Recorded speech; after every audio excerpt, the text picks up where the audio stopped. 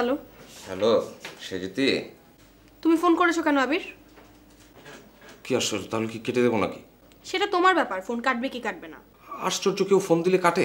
অপরপক্ষ যদি বিরক্ত হয় তাহলে কেটে দিতে পারে। বেশ কথা শিখে গিয়েছো মনে হচ্ছে? বাবা তুমি মনে হচ্ছে খুব রেগে আছো হ্যাঁ?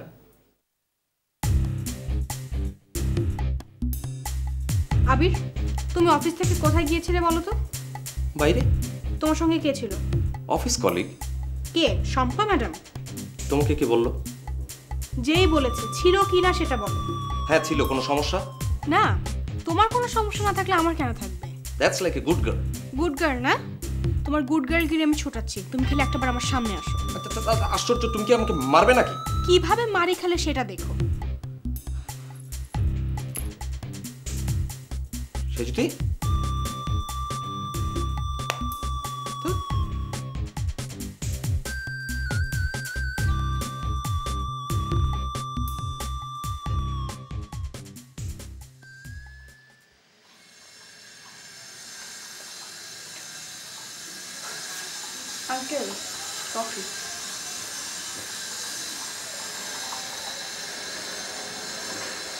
আঙ্কেল ওষুধ খেয়েছেন? হ্যাঁ খেয়েছি। কিন্তু শরীরটা আমার ভালো লাগছে না। কেন আঙ্কেল? কি হয়েছে? না তেমন কিছু না। এই যে বৌমা নেই পেঁয়াজ নেই সব মিলিয়ে কেমন যেন লাগছে। বলি লাল কোথায়? বাসায় আছে। কোনো দরকার আমাকে বলেন? না কাজ কিছু না। এই লাল ছেলেটা বিয়ে পাস। সারাটা জীবন আমার সেবা করেই কাটালো। আমি আর কদিনই আছি। এখনও নিজের কিছু একটা করা দরকার না? তুমি ওকে একটু পাঠিয়ে দাও মা। জি আচ্ছা।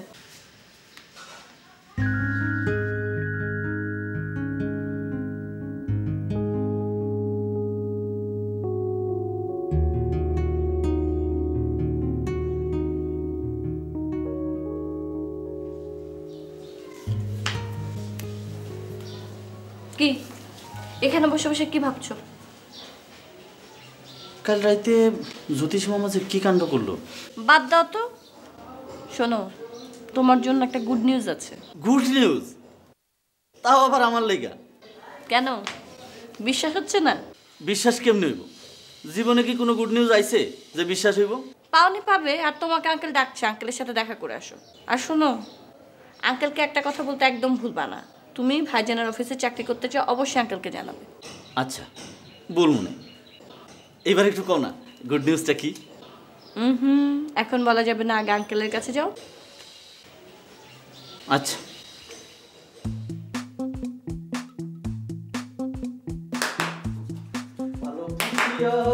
গেলাম ফাঁসিয়া করতে হবে মনীষারে বিয়া। ও তারা আচ্ছা ডাক্তার তুমি এত বোকা হয়ে কেন? তুমি একটা শিক্ষিত মানুষ কীভাবে একটা বোকার মতো কাজ করলা? যখন দেখলা তোমার বিছানা মতো সবকিছু ভিজা তুমি উপরে চলে আসতে। আরে এত কথা কেন বলো? তেলটা মাখতে বললাম তেলটা মাখতে বললাম কথা কেন বলছো? আরে তোমার সারা রাতের এত তাড়াতাড়ি শেষ করে। আরে বাবু আরে ভাই। আরে এর মতো কথা বল উপরে উপরে এই তো দিছে উপরে। দিছে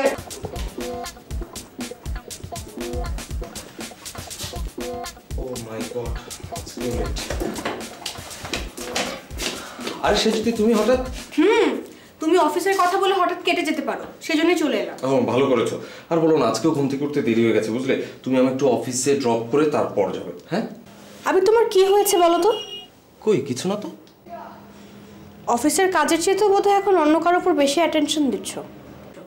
কি বলতে চাচ্ছ তুমি? আমি কি বলতে চাচ্ছি সেটা তোমার মনকে জিজ্ঞেস করো উত্তর পেয়ে যাবে। খামোকা সিনক্রিট করো না তো সেজিতি সিনক্রেট তো আমি করছি না আবির করছ তুমি। তুমি আমার ফোন ধর না ধরলে ফোনের লাইন কেটে দাও। অফিসের কলিগদের সঙ্গে আড্ডা মেরে বেড়াও। Stop it Sejuti. খামোকা ফালতু কথা বলছো তুমি। আমি ফালতু কথা বলছি? তোমাকে সেদিন বাবার কথা বললাম। তুমি আমাকে কোনো পাত্তাই দিলে না। আচ্ছা বাবা বিয়ের কথাটা আমরা পরে বলি হ্যাঁ? অফিসের দেরি হয়ে যাচ্ছে। চলো তোমাকে আমি বাসায় ড্রপ করে তারপর অফিসে যাচ্ছি। ঠিক আছে? চলো। চলো।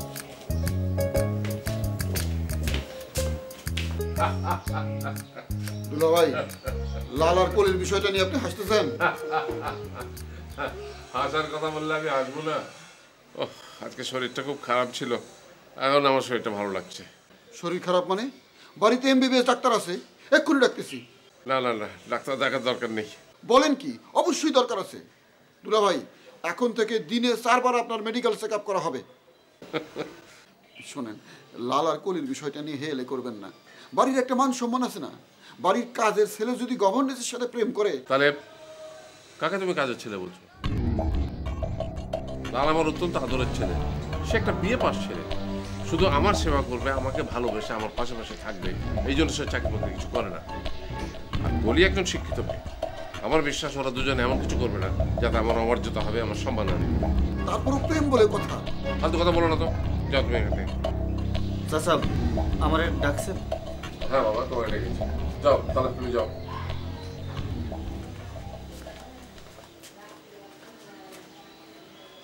চাচা বলেন। দেখ বাবা লাল তোকে এতবার করে বললাম যে এম এ পরীক্ষাটা দে দিলি না। বললাম যে চাকরি বাকরি কর সেটাও করলি না। কিন্তু আমি আর কদিন কিছু একটা তো করতে হবে। আমি তো ভালোই আছি আপনার সাথে আছি। আরে এটা তো কোনো কাজের কথা হলো না। তোর নিজের একটা ভবিষ্যৎ আছে না? আমি আপনাদের রেখা কিছু করতে পারব না। পাগলের মতো কথা বলছিস কেন বাবা? আমাকে রেখে করবি কেন? আমার ছেলেরা আছে না ওরা তো চাকরি করছে। তারা কি আমার পর হয়ে গেছে? তুই চাকরিও করবি আমার পাশেও থাকবি। আপনি যা ভালো মনে করেন সেটাই করেন। ঠিক আছে। তুই কি বাইরে কোথাও চাকরি করবি নাকি সাফাতের অফিসে বসবি? বল। আপনি যা ভালো মনে করেন। ঠিক আছে তাহলে আমি একটু ভেবে দেখি। তাহলে যাই চাচা আয়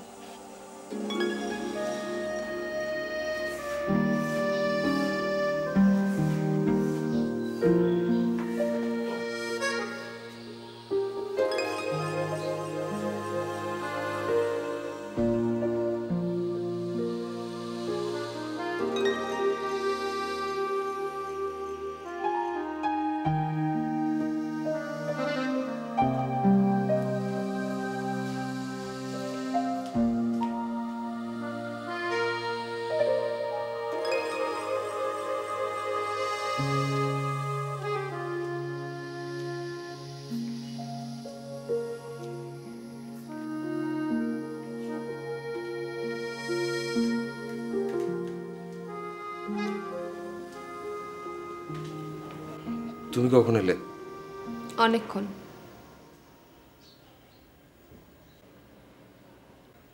কি হলো? ওভাবে তাকিয়ে আছো কেন? তোমাকে দেখছি। কি সব ছেলে মানুষের মতো কথা বলো না? মাঝে মাঝে যে কোনো বয়সের মানুষ ছেলে মানুষ হয়ে যায়। এটা অফিস এরকম কথা হলো সব করতে পারব সবাই বসে আড্ডা পারব? সবার কোনো খবর নাই। সব আমার দেখ কি ব্যাপার কি অবস্থা? আছেন কেমন? আর থাকা। চাকরি করা যাবে না। সব কাজ আমাকেই করতে হবে। সব কাজ আমার কাঁধে।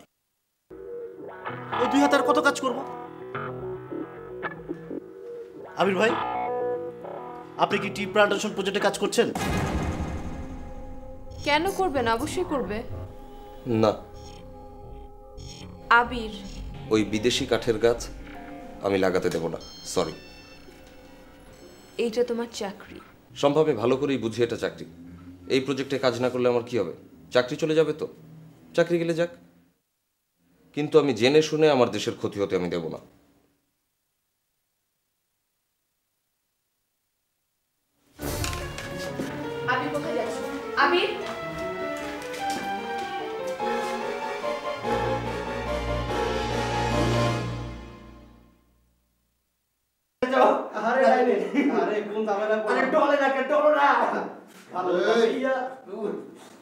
বাড়িতে রোহিত রূপবানের যত পালাই হোক কোনো পালা দেখব না কোনো পালা শুনব না। তুমি আবার কোন পালা দেখাই না। কি হইছে ওস্তাদ তোমার? কি হয়েছে ওস্তাদ ওরে শীত থেরাপি ধরছে।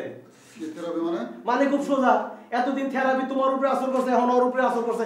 ই আল্লাহ তুমি জানো তোমার? কি হয়েছে তোমার?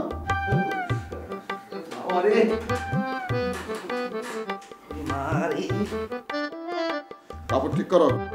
কাপড় গায়ে থাকলে না ঠিক করব কি বলে আশ্চর্য? এখন কত দেখি শীত লাগল কেমনি শোনো না ইয়ে কাল রাতে যে শীত বলো না কি শীত রে মামা? কাপুনি দিয়ে আসি। তারপর? তারপর কি? শীতের মধ্যে কাঁপতে কাঁপতে হঠাৎ করে আমি আমার ইয়ে ওই গ্রুপ ওই কি চিলা কোঠায় চিলা কোঠায় চলে গেলাম যারপর পর বিছানায় ঝাঁপায় পড়লাম। বিছানা তো ভিজা এটা তো জানতামই না, পুরো গাটা ভিজে গেল। তারপরে হঠাৎ করে কোথেকে যেন মনীষা উদয় হলো। মনীষা আমার বলে যে জগিং করেন, শীত চলে যাবে। তারপর? তারপর আর কি ওর কথা মতো আমি জগিং শুরু করলাম।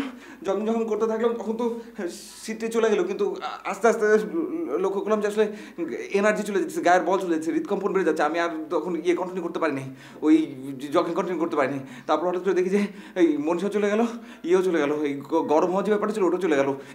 শীত এরপর চাকরায় ধরলেন মামা ওস্তাদ দেহ রেল গাড়ির মতো কথা কয় কোনো দাড়ি কমা নাই। কইছিলাম না মনীষার হাই প্রেশার বিশ্বাস হয়েছে ওস্তাদ এখন কথা বাদ দাও ডাক্তারের অবস্থা খুব খারাপ। চলো ওর একটা ভালো ডাক্তারের কাছে নিয়ে যাই। চুপ কর। তারই ডাক্তারের কাছে নিলে তার এমবিবিএস ডিগ্রির কোনো মূল্য থাকে?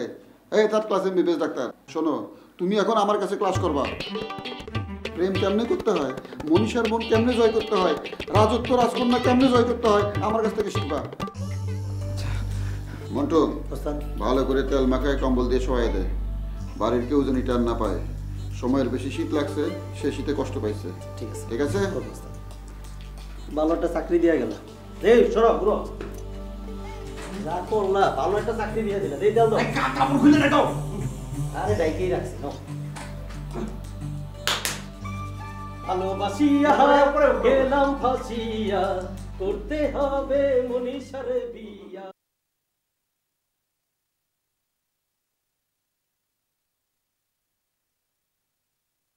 সাফাত জি বাবা। তুমি অফিসে যাচ্ছ? জি। খুব তাড়া আছে? তারা একটু আছে। কি বলবে বলো? না ওই লালের ব্যাপারে একটা সিরিয়াস আলাপ করতে চাচ্ছিলাম। কেন? লাল কি করেছে আমার হ্যাঁ কিছু করেনি। আসলে দেখো ওই ছেলেটি তো লেখাপড়া জানে। কিন্তু এই বাসায় আমাদের বাসার কাজ করতে করতে তো কাজের ছেলে হয়ে গেল। ও নিজের তো কোনো চেষ্টা না। কাজের ছেলে কাজ করতে মহানন্দ আমি তোকে খুব ভালো করে জানি। আসলে আমাকে খুব ভালোবাসে। ও আমাকে রেখে কিছুই করতে চায় না।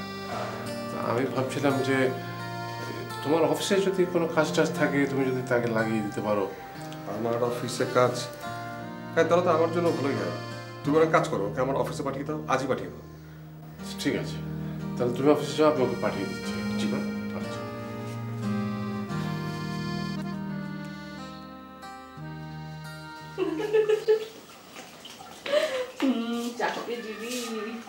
এত হাসির কি হাসি বন্ধ করো। কেন? চাকরি পেয়ে তোমার গলার আওয়াজ বেড়ে গেল মনে হচ্ছে? জি না আমার চাকরি করার অত ইচ্ছা নাই। যেমন আছি তেমনই ভালো আছিলাম। তোমার মতো ছেলেকে দিয়ে না কিচ্ছু হবে না। জি হওয়ারও দরকার নাই। ওই যে আঙ্কেল ডাকছে যাও। আইতাছি চাচা।